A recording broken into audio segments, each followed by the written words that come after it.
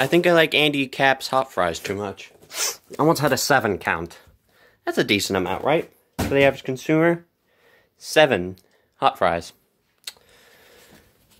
Seven hot fries. Where do you go from there?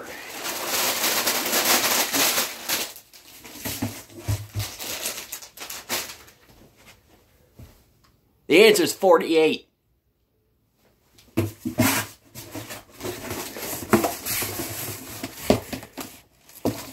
Forty-eight count.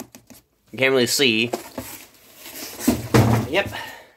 There are 48 hot fries in there. Andy Capp, if you're seeing this, sponsor me. I love your shit.